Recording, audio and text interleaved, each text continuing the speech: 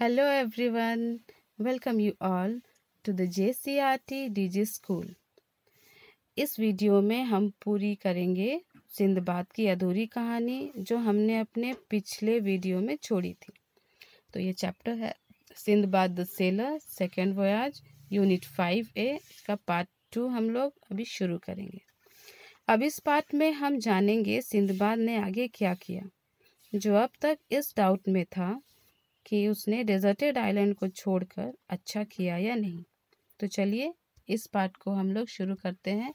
Comprehension check two के questions के साथ और उसके आंसर्स भी देखते हैं। What was the huge black cloud that Sindbad refer to Sindbad को जो बड़ा सा काला बादल की तरह जो लग रहा था, वो क्या था? Sindbad referred to the huge black cloud was actually a bird with extraordinary size. Sindbad Sindbad ने जो देखा था और उसे ऐसा लगा कि वो काला बादल है, लेकिन असल में वो काला बादल नहीं था, वो एक बहुत बड़ा विशालकाय साइज़ का पक्षी था how did the bird's egg look like वो पक्षी का अंडा किस तरह का दिखता था।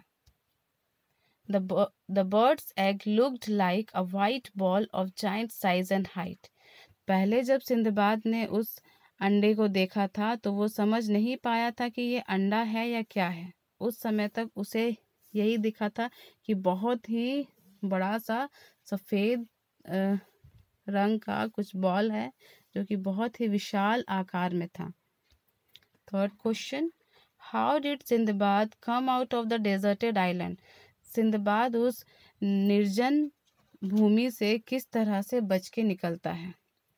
Sindbad tied himself to the bird's feet Sindbad ने खुद को पक्षी के पैर से बाँध लिया so that the next morning when the roc take his flight would carry Sindbad away from that deserted island ताकि जब रॉक पक्षी अगली सुबह अपनी उड़ान ले तो वो अपने साथ साथ सिंधबाद को भी उस डेजर्टेड आइलैंड से लेके जाए। ये था सिंधबाद का प्लान। और, और उस अपने प्लान में वो सक्सेसफुल भी होता है। वो उस डेजर्टेड आइलैंड से निकल करके दूसरे आइलैंड में भी आ जाता है। लेकिन अब वो डाउट में था कि उसने सही किया या नहीं। तो चलिए अब देखते हैं वो कहाँ पहुँचा था। द वैली ऑफ़ डायमंड्स वो पहुँचा था हीरो की घाटी में। कितना लकी था सिंधबाद, ना? The valley in which I found myself was quite deep and narrow तो जहाँ पर अभी सिंधबाद पहुँचा था, वो घाटी बहुत ही गहरी और सकरी भी थी and was surrounded by high mountains और वो चारों तरफ़ से ऊँचे ऊँचे पहाड़ों से कवर्ड थी। सो इरेक्ट एंड रॉकी और उस तरह के हाई माउंटेन्स थे जो सीधी सीधी खड़ी चट्टाने थी। That there was no way to climb up to their side तो वो इतनी सीधी थी कि उस पर चढ़ करके उसके दूसरे साइड जाना आसान नहीं था। कुछ रास्ता ही नहीं था। As I walked about in search of some way of escaping from this place तो जब सिंदबाद घूम रहा था इधर उधर कि अपने बचने का रास्ता खोजने के लिए। I observe that the ground was covered with diamonds some of them of a huge unexpected size this view gave me a great pleasure तो जब वो घूम रहा था, तब सिंदबाद का ध्यान उधर जाता है कि वो पूरा ग्राउंड जो है, पूरा धरती जो है, वो डायमंड से कवर्ड है। ये देख करके सिंधबाद बहुत खुश होता है कि इतने सारे हीरे बहुत ही सही जगह में सिंधबाद आया है। But my glee was soon ended लेकिन सिंधबाद का खुशी जो था ग्ली यानी उल्लास, आनंद, खुशी, वो जल्दी ही खत्म हो जाता है। क्यों? क्या देखा उसने? When I saw numerous snakes which were so long and so large the smallest of them could have swallowed an elephant very easily तो अब सिंधबाद ने वहाँ पर देखा कि बहुत सारे सांप हैं। इतने इतने ह्यूज साइज़ के कि उनमें से सबसे छोटा सांप जो है, वो बहुत ही आसानी से सांप को निगल जाएगा। स्वालो यानी निगलना, ठीक है? तो जस्ट सोचिए कि अगर एक हाथी को एलिफेंट को कोई सांप आसानी से निगल सकता है, यानी वो सांप का साइज़ कितना विशाल होगा, है ना? जस्ट सी कि ये यहाँ पर सांप देखिए इनका साइज़ और ये सिंदबाद है। तो ये कितना छोटा है उनके सामने। तो ये देखने के बाद किसी के भी होश उड़ जाएँगे, किसी को भी जितना भी खजाना वहाँ पर होगा, लेकिन वो खजाना जो है, वो उसके लिए कुछ वैल्यू नहीं रखेगा, उन सांपों के सामने, सांपों के डर से, है ना? इस कारण से सिंधबाद का भी जो खुशी है, वो खत्म हो जाता है। Luckily for me they appear to hide in the caves during the day time तो ये सिंधबाद के लिए बहुत ही खुशकिस्मती की बात थी कि सांप जो है वो खुद को दिन के समय में गुफाओं में छुपा करके रखते थे। And they only came out by the night time और वो सिर्फ़ रात को ही बाहर निकलते थे। ऐसा क्यों? Because of their enemy the roc क्योंकि उनका जो दुश्मन था रॉक वो विशाल का पक्षी। वो उनका शिकार करने दिन में ही आता था। इस कारण से वो लोग दिन के समय गुफा में रहते थे और रात में बाहर निकलते थे।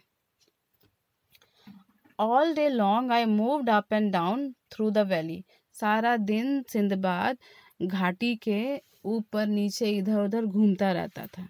स्केपिंग की तलाश में, यानी कि वहाँ से बच निकलने की खोज में। And when it when it grew dark I went into a cave और जब रात हो जाती थी, तब सिंदबाद एक केव में, गुफा में आ जाता था। And having block the entrance with a stone और उस गुफा का एंट्रेंस को, आने जाने के रास्ते को वो एक बड़े से पत्थर से ढक देता था, ताकि सांप अंदर ना आ पाए। और वो रात के समय एटलीस्ट वो सुरक्षित आराम कर पाए। I ate the remaining food and lay down to sleep तो वो गुफा में खुद को बंद करने के बाद वो सवेरे का जो खाना रहता था, वो उसको खा लेता था और लेटने, सोने के लिए लेट जाता था। But all through the night the snakes crawl to and fro hissing terribly लेकिन सारी रात स्नेक्स जो है, वो सिंधबाद जिस गुफा में था, उसके बाहर वो लोग रेंगते रहते थे। तो रेंगने से भी ज़्यादा खतरनाक होता था उनका हिसिंग करना, फुंकार, बहुत ही खतरनाक फुंकार के साथ वो लोग इधर उधर घूमते रहते थे उसके केव के बाहर ही।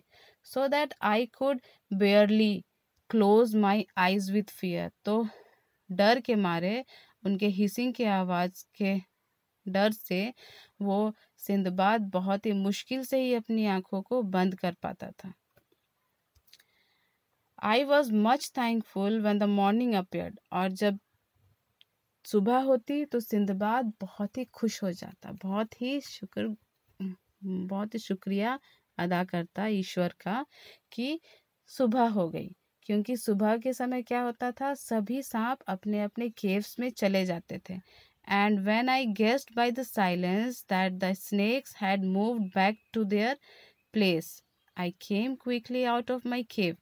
तो जब बाहर से कोई भी हिसिंग की आवाज़ नहीं आ रही थी सांपों की फुंकार की आवाज़ नहीं आ रही थी तब इस शांति से इस साइलेंस से सिंदबाद ने यह अंदाज़ा लगा लिया कि ज़रूर सभी सांप अपने अपने केव्स में चले गए होंगे और उनके चले जाने के बाद सिंधबाद बाहर आता and moved up and down the valley again और फिर से घाटी के ऊपर नीचे अपना बचने का रास्ता ढूँढने लगता। Kicking the diamonds out of my way तो उस समय जब वो स्केपिंग का रास्ता जब ढूंढता रहता तो वो उसके रास्ते में बहुत सारे डायमंड्स आ जाते थे। क्योंकि वो घाटी जो है वो डायमंड से कवर्ड था। लेकिन उन डायमंड्स को, उन हीरो को वो लात मारते हुए आगे निकलता जाता। क्यों ऐसा? इतनी कीमती चीज़ को? For I felt that they were in fact worthless things to a man in this situation क्योंकि सिंधबाद को ऐसा लगा, फील हुआ कि इस स्थिति में ये कीमती चीज़ भी किसी भी इंसान के लिए बेकार है, किसी काम के लिए नहीं है। एट लास्ट आखिरकार बीइंग वेरी टायर्ड और जब सिंधबाद बहुत थक गया I sat down upon a rock वो एक चट्टान के ऊपर बैठ गया। But I had hardly close my eyes लेकिन मैंने अपनी आँखें बंद की ही थी। When I felt that something fell to the ground with a third close beside me जब एक बहुत ही ज़ोरदार आवाज़ आई कुछ गिरने की, ठीक मेरे पीछे। क्या था वो? It was a huge piece of fresh meat वो एक मीट फ्रेश मीट का एक बहुत ही ह्यूज बहुत ही बड़ा सा टुकड़ा था। And as I looked at it few more pieces rolled over beside me और जैसे ही मैं टर्न करके पीछे उस मीट के पीस को देखा तो उसके साथ साथ और भी बहुत सारे मीट के पीस वहाँ पर गिरने लगे। I had always thought that the stories the sailors told about the famous valley of diamonds were not true. और मैं, हमेशा से मैं यही सोचता था कि जो बाकी सेलर्स जो हैं, जो वो स्टोरी सुनाते थे वैली ऑफ़ डायमंड्स की, वो सही नहीं होती थी। But now I believe them true लेकिन अभी मुझे विश्वास हुआ कि वो सच था। These merchants came to the valley जो ये व्यापारी होते थे, ये घाटी में आते थे, कब? at the time when the eagles had hatched their young ones ठीक उस समय आते थे जब ईगल्स के बच्चे अंडों से बाहर निकलते थे the merchants then threw great chunks of meat into the valley the chunks falling with so much force upon the diamonds were sure to take up some of the precious stones with them when the eagle pounced upon them the meat and carried it off to their nest to feed their hungry babies. कितना अच्छा plan होता था उन व्यापारियों का कि वो meet के बड़े बड़े टुकड़े हैं जो है वो बहुत ही फोर्स के साथ, बहुत ही ज़ोर से फेंकते थे उस वैली ऑफ़ डायमंड में इतनी तेज़ी से कि उन मीट के पीसेस में बहुत सा, बहुत सारे हीरे चिपक जाते थे और उन मीट के पीस को ईगल्स आते थे अपने बच्चों के भोजन के रूप में वहाँ से उठा करके अपने नेस्ट में जा कर के ले जाते थे। चंक्स यानी हिस्सा मीट का टुकड़ा okay? And precious it means कीमती प्रीसियस स्टोन्स। इट मीन्स क्या था? हीरा। हीरा एक प्रीसियस स्टोन है है ना? Then then the merchants would scare away the parent eagle तो जब उन मीट के टुकड़ों को ईगल्स उठा करके अपने बच्चों के लिए नेस्ट में, अपने घोंसलों में लेकर के जाते थे, उस समय व्यापारी वहाँ पर तैयार रहते थे। उन ईगल्स को वहाँ से शाउट शाउट और आउटक्राई के साथ वहाँ से दूर भगाने के लिए। देखिए, किस तरह से जब वो मीट का टुकड़ा अपने घोंसले में ईगल लेकर के आता था तो ये व्यापारी उनको वहाँ से भयभीत करके वहाँ से भगा देते थे। और भगाने के बाद उन मीट के टुकड़ों में जो डायमंड्स होते थे, उन डायमंड्स को निकाल करके वो वो अपने पास रख लेते थे। तो इस तरह से वो व्यापारी अपना काम करते थे। ट्रेजर यानी खजाना। उनका अपने खजाने को सिक्योर करने के लिए व्यापारी इस तरह का काम किया करते थे। Until this until this moment, I had looked upon the valley as my deathbed. इन सब के पहले सिंदबाद उस वैली ऑफ़ डायमंड को अपनी मरण शैया के रूप में देखता था। कि अब तो उसको यहाँ पर मरना ही है। वो सोच सोच ही रहा था कि for there seem no possibility of getting out of it alive कि अब यहाँ से मैं ज़िंदा कभी भी बाहर नहीं निकल पाऊँगा। But now I took courage and to search for the means for escaping from this place लेकिन अभी ये सब देखने के बाद सिंधबाद के अंदर हिम्मत आ गई कि हाँ अब मैं यहाँ से सुरक्षित बाहर निकल सकता हूँ। तो अब सिंधबाद ने क्या किया? I began to pick up all the diamonds I could find and kept them very carefully in my leather wallet तो अब सिंधबाद ने जितने भी डायमंड्स थे, वो देख पाया अपने आसपास, जिनको वो कलेक्ट कर पाया। कलेक्ट करने के बाद अपने चमड़े के थैली में उसने रख लिया। I tied it to my belt और अपने कमर में ज़ोर से उसने उस थैली को बाँध लिया। I then chose the piece of meat which seemed most suitable to my purpose and with the help of my turban turban क्या है? पगड़ी okay tied it very tightly to my back तो अब अपने पर्पस के लिए उसने एक मीट का पीस चूज़ किया। और अपने टर्बन के हेल्प से खुद को उस मीट के टुकड़े से बाँध लिया। हैविंग डन दिस और ये हो जाने के बाद I lay down upon my face and waited for the coming of the eagles और फिर उस मीट के टुकड़े से ठीक इस तरह से खुद को बाँध लेने के बाद सिंदबाद नीचे की ओर लेट करके अब इंतज़ार में था कि कब ईगल आएगा उस मीट के टुकड़े को उठाने के लिए ताकि उसके साथ साथ वो भी इस वैली ऑफ़ स्नेक से बाहर निकल जाएगा। Okay? Then I soon heard the noise of the flapping of their wings over me तो बहुत ज़्यादा देर नहीं हुई, बहुत जल्दी ही मुझे पक्षी के पंखों का फ्लैपिंग का आवाज़ आया। ठीक है? And as and as expected और जैसा कि मैंने उम्मीद किया था one of them seized upon my piece of meat and took flight slowly towards his nest और एक पक्षी आकर के, मैं जिस मीट पीस में खुद को टाई अप करके रखा था, उसको उठाया और धीरे से वो अपने घोंसले की ओर उड़ने लगा। Into विच ही presently dropped me. जिस घोंसले पर फिर उस पक्षी ने उस मीट के टुकड़े के साथ साथ सिंदबाद को भी नीचे ड्रॉप कर दिया, गिरा दिया।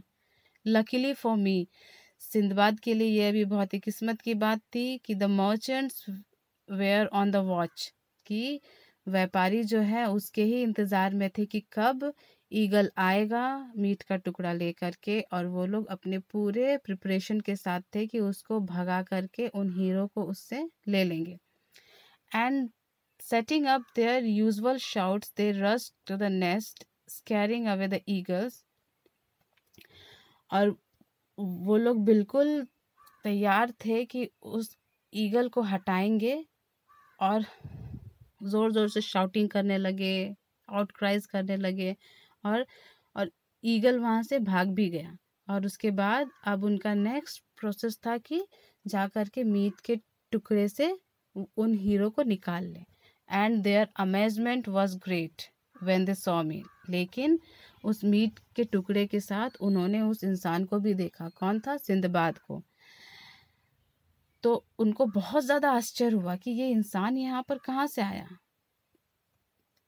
And also their anger for having robbed them of their usual treasure तो पहले उनके ध्यान में ये था कि कहीं ये हमारा जो माल है, हमारा ट्रेजर खजाना को लूटने के लिए तो नहीं आया है।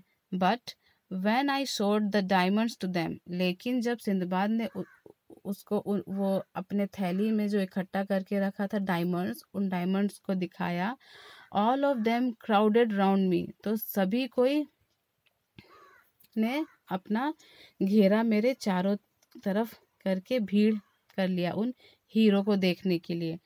And wondering at my adventures and approving the plan by which I had escaped from the valley और फिर उसके साहसी कारनामे सुनने के बाद सभी कोई बहुत ही आश्चर्यचकित हो रहे थे और किस तरह से सिंदबाद ने उस वैली से निकलने का प्लान बनाया था। उसका प्लान प्लान की भी वो लोग प्रशंसा कर रहे थे, इतना साहस वाला प्लान के लिए। At night they led me to their camp और जब रात हुई तो मर्चेंट्स ने जहाँ अपना कैंप लगा करके रखा था, वहाँ पर सिंदबाद को अपने साथ लेके गए। I stayed with the merchants for few days मैं मर्चेंट्स के साथ कुछ दिन तक वहाँ पर रुका और कुछ हीरो को इकट्ठा किया। And then as they were sailing homewards I gladly joined them और जब वो लोग वापस अपना काम ख़त्म करके घर की ओर जब जा रहे थे तो मैं बहुत ही खुशी खुशी उनको ज्वाइन किया। उनके साथ मैं भी घर की ओर चल पड़ा।